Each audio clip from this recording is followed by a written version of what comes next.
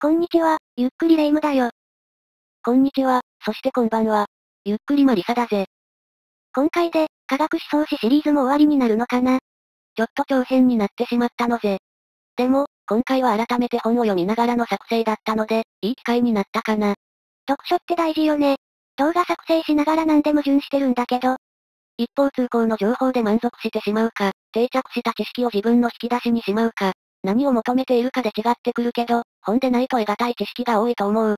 また、若い頃に、その引き出しを作るという過程では、やっぱり読書に耐えるっていう資質が必要なんでないかな。ふむふむ。ってのんびりやっていると、今回で終わらなくなるのよ。今まで、ギリシャ思想あたりから発する近代科学を育んだ、陽根要塞の、どちらかといえば、陽根に焦点を当てて、ざっくり眺めてきたんですね。で前回は、ニュートンにまで流れ込む、ヘルメス思想など神秘思想と、数学的記述の手法の2系統の思想共有を紹介したんだね。そしてデカルトまで進んで、神は言われた。ニュートン、いでよ、と。あ、チルノ。ニュートン役？ポルタも演じてなかった？それは言わない約束よ。デカルトが分けた、精神と物質世界のうち、縦横高さで表現される物質要素の、三次元世界の、地球上の運動から天体の運動まで、運動方程式と万有引力の法則で説明しきってしまったんだね。すごいことなの？私の魔法や霊夢の霊力の数億倍以上。よくわからないけどすごいのね。もちろん一人の力ではないが、文明一つ起こす程度の力だからね。ふーん。で、デカルト風三次元って、縦横高さしか要素がないから、重さとか時間が入っていないのね。そこに質量を定義して導入することにした。どうやって？質量とは、その密度と体積の積によって測られる量であると。ふーん。あれ？密度って？密度質量ある体積だね。え、どういうこと？同義反復的な定義を施して、質量を導入したんだね。いいの？それで。不思議だろうが、それで科学文明が起きたのだ。後にボスコビッチやオイラーら数学者が、質点という言葉で扱いやすくしているね。また、私は、加速度と力というそれまで別のものと思われていたものを結びつけました。力は加速度に比例すると。何に対して加速しているの？質点の絶対空間に対する加速度だね。絶対空間？絶対空間は、科学的には根拠が求められず、目にも手にもかかることのできない。神の感覚器官と表現したけど、神が投げたと網のようなものだね。絶対時間という、宇宙に不変で永遠な存在についても述べている。そうした神秘的な時間や空間、時間と無関係な重力など、ニュートンは上の神秘思想、宗教思想から取り入れているんだね。それ以外にも、錬金術や宗教の年代学など、情熱を持って探求しているね。科学というのは、右の世界に、左の精神世界のものを、いかに導入して自然界を合理的に説明するかという、ルール付きのいわばゲームなんだね。ファラデーやマックスウェルは、後に電荷や磁場を導入し、定式化しているし、アインシュタインは、彼らの電磁気学と古典力学を統合し、三次元世界を四次元時空間に再構築している。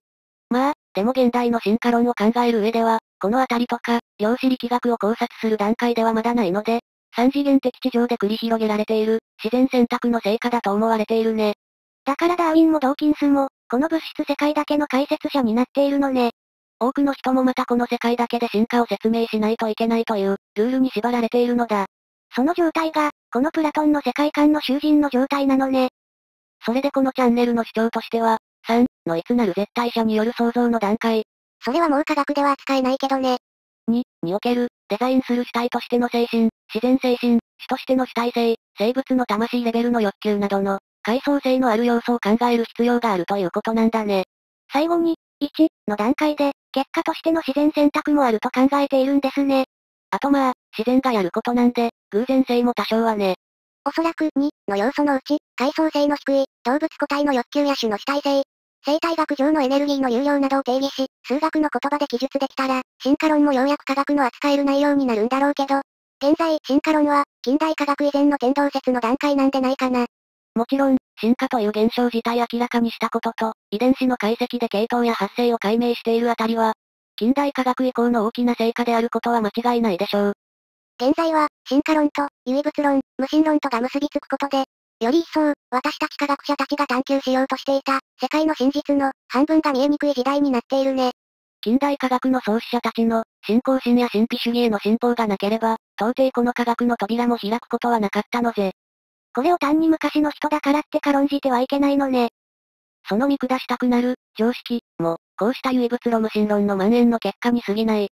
こうして人類は、潜在意識、宗教的な世界への参入もできなくなり、閉ざされた世界観の中での科学の発展、生物進化の探求しかできなくなっているのだね。